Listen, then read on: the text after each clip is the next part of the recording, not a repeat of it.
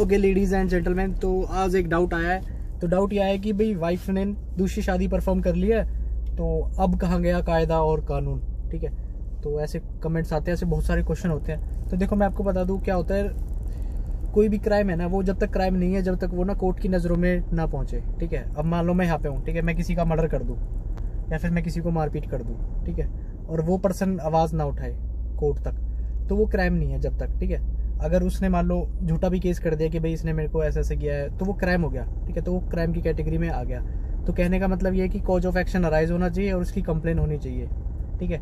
अब आपको क्या क्या लगता है कि इंडिया में रेप नहीं होते? बहुत सारे रेप होते हैं। बस वो जो फ़ाइल होते हैं ना, वो बहुत कम होते हैं।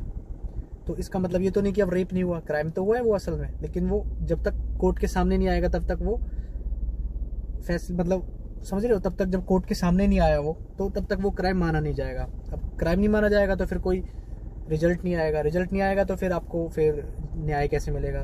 तो मॉरल ऑफ़ द स्टोरी ये है कि अगर आपकी वाइफ ने जो दूसरी शादी परफॉर्म कर ली है, या अगर आपके हस्बैंड ने दूसरी शादी परफॉर्म कर ली है तो आपको देखो एक्शन लेना पड़ेगा, ठीक है? आप क्या कीजिए? आप पुलिस वुलिस के चक्कर मत काटो। फैमिली मैटर में पुलिस के पास मत जाया करो, ठीक है? तो आपको क्या करना है, अगर आपके साथ ऐसी घटना हो गई है कि आपके जो हस्बैंड ने या वाइफ ने एज द केस में भी शादी परफॉर्म कर लिया तो आपको क्या करना है? एक एडवोकेट हायर करना है। उसको बोलना है फोर नाइन्टी फोर का मुकदमा दायर करना है। तो वो अपने आप सारा कुछ कर देगा, ठीक है? आपको घबराने की ज़रूरत नहीं है। और देखो, लड़ना पड़ता है, करना पड़ता है। ऐसे तो बैक साइड बहुत कुछ हो रहा है, ठीक है? बहुत कुछ होता भी है। तो इसका मतलब ये तो नहीं है ना, वो क्राइम नहीं है, ठीक है? तो क्राइम वो तब बनेगा जब वो कोर्ट के आगे आएगा, तभी तो आपको न्याय मिलेगा। अब ऐसे तो पीछे से तो पता नहीं क्या होता है। पीछे से तो किसी का भी मर्डर कर दो, किसी का भी रेप कर दो। ठीक है? तो ऐसे कुछ नहीं है। आपको कोर्ट जाना पड़ेगा। अगर आपकी वाइफ ने शादी की है या हस्बैंड ने शादी की है, जो भी कुछ भी है, आपको एक्शन लेना पड़ेगा। ठीक है? तो तब जाके पनिशमेंट होगी।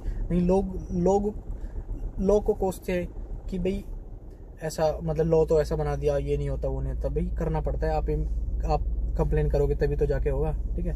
तो करिए आप और न्याय लीजिए। ठीक है? So I hope it is clear bye